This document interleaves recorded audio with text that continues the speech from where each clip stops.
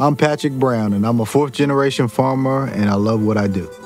Our farm has been here for over 165 years, passed down over three generations.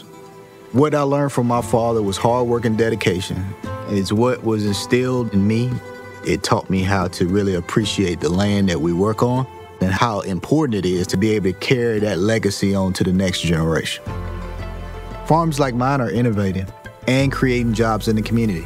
And Kamala Harris gets that. Her focus on rural communities means a lot to me. She'll build the infrastructure that we need, expand high speed internet, and invest in rural communities.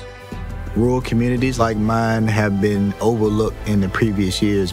We need a president that's fighting tooth and nail, that's in the trenches, just like we are each and every day on this farm. And that's Kamala Harris. I'm Kamala Harris, candidate for president, and I approve this message. Paid for by Harris for President.